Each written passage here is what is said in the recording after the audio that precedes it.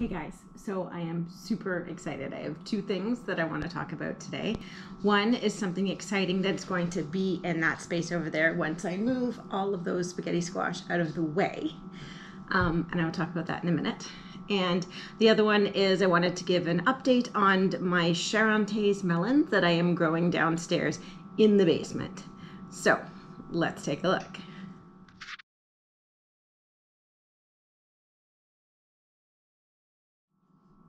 Hey darling and welcome back to my channel. I am Kiri Martin and I'm just a city girl who wishes she was a country girl who is currently living in the burbs. I'm a micro homesteader and I grow food indoors year round.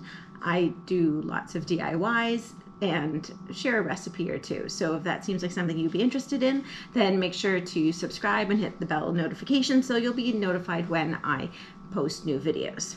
So anyways, let's get, get down to it. So if you've been around here for a little bit, then you know um, that I grow hydroponically.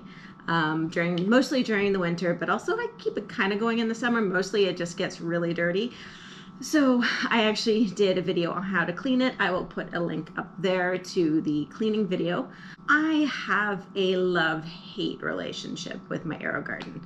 I love that I can grow indoors with it and that it extends my growing season because in Ontario, I'm in zone 5B and it's already cold. We've already had our first frost and anything I was holding out hope for outside other than the carrots and a few other things that can withstand it, um, yeah, they're dead. They're done. Um, so we won't talk about those tomatoes that I meant to bring in and I didn't, but that is a video for another day.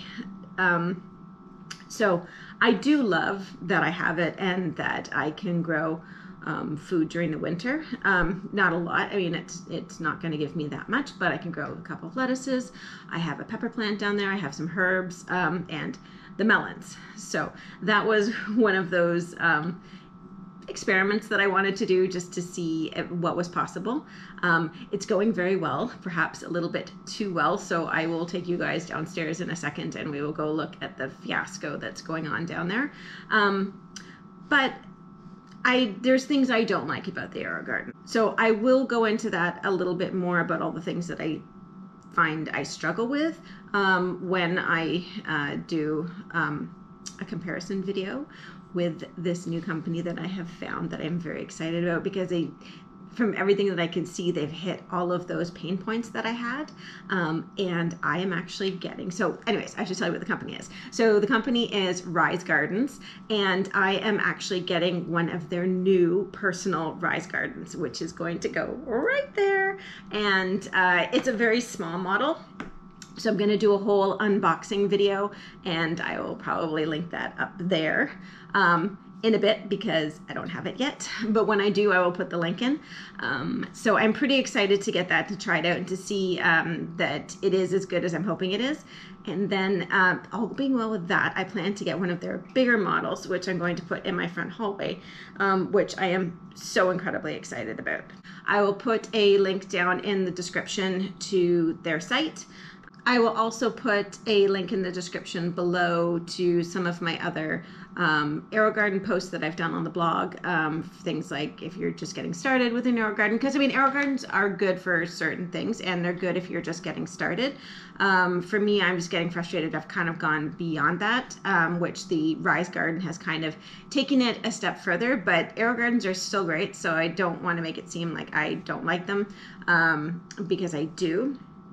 I just think there are certain things that Rise Garden has really invested a lot of time in, um, and they've they've hit those things that I was frustrated with, and they've already come up with solutions. So that's exciting.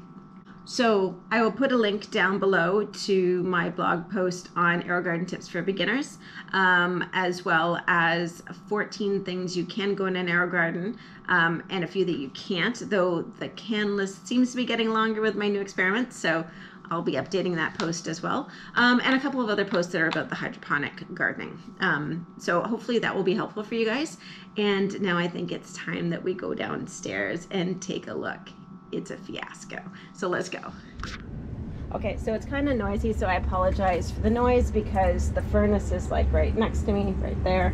Um, and so this is my AeroGarden. I've got a couple of plants um, in front here um, that are, you know, trying to to benefit from the light.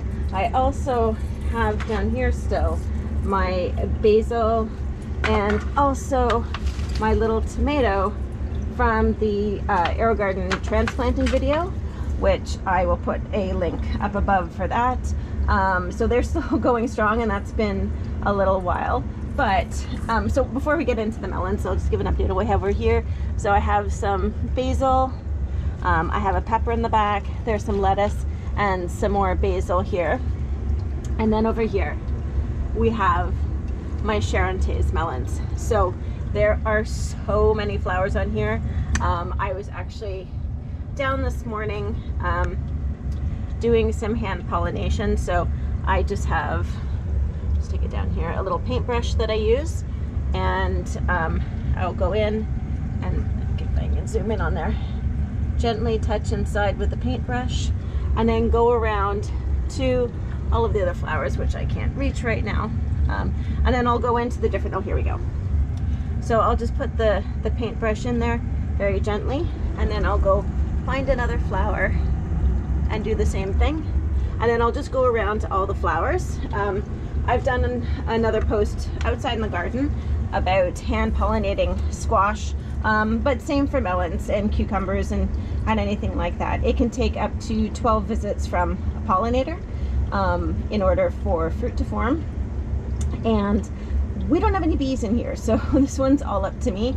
Um, these are not things that are self-pollinating. So things like the peppers and the tomatoes are self-pollinating, so you do not uh, need to worry about that. Now, AeroGarden does like to sell this thing for pollinating. Let's see if I can turn it on here. So it's got a little bee in it, does that. But you don't need it, so don't buy it. Obviously I did, and then I learned more, and I'm telling you to save your money. So for this, I'm gonna go around every single day, multiple times a day, um, and try and pollinate as many of these as I can. So because this is like a squash or a melon, um, there's going to be female flowers and there's going to be male flowers. So the male flowers tend to be on a longer stem and the female flowers, you will see um, a little melon beneath them.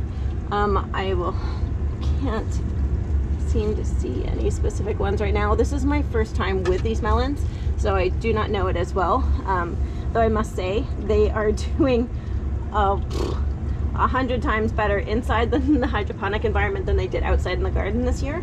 Um, but so I'm pretty excited. So I will probably be doing another update on these as soon as I can actually hopefully get a melon. They're also trying to get over there behind the water heater, so I'm gonna have to wrangle those guys in a bit. Um, but yeah, so that is my foray into growing Charentais melons, or as I call them, fancy French melons, indoors hydroponically. Um, I will also put a link below in the description to my blog post on the Charentais melons. They have a great history. Um, but I'm gonna go upstairs away from the basement, which I always feel like I'm going to be attacked by a centipede down here. Um, so we'll go upstairs and we'll finish talking about these melons because they're actually pretty cool. Okay, so I'm back upstairs. Bacon's decided to come join me. Um, so Charentais melons. They are actually uh, cantaloupe and they have been around for... Bacon, you can't do that. Okay. Bacon's trying to steal the show. I'm going to put her down there. so the Sharon. So this was actually my first year. I mentioned it when we were downstairs, but I don't know how noisy it is. I'll have to see when I listen to the footage. But um, it was my first year growing the Charentais melons. I only managed to get one, and uh, they're not very big. They're kind of like softball size, um, and it was good. Like it was a really good cantaloupe. It made me want to uh, to grow them again. They're very, very, very sweet. Um, you can actually smell them. And that's one of the things when you can tell that they're ripe.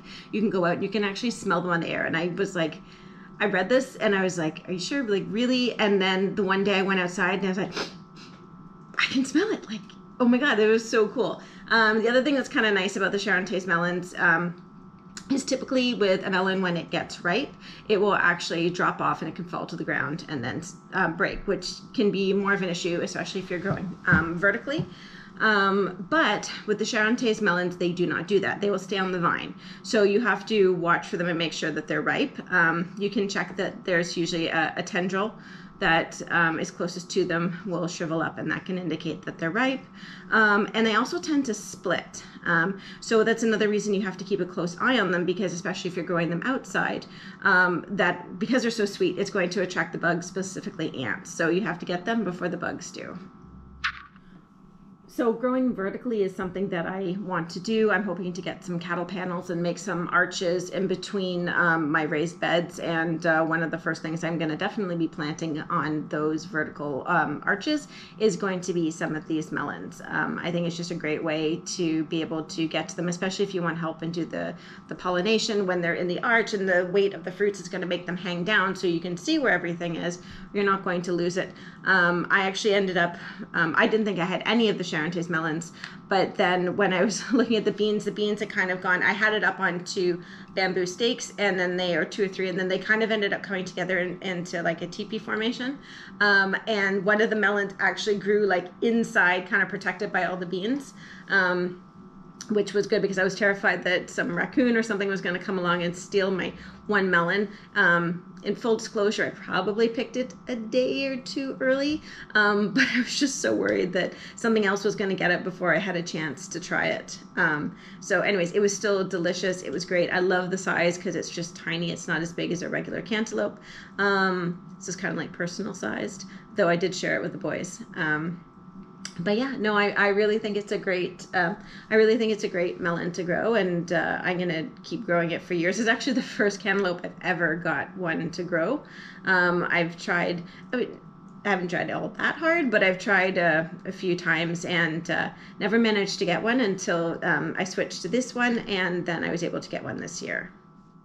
So thank you for joining me today, um, and putting up with my excitement. I am really am so, so ecstatic um, and can't wait to get my hands on uh, my Rise Garden. And just remember, homesteading is a spectrum. It's a journey and it's not a destination. So until next time, make food grow.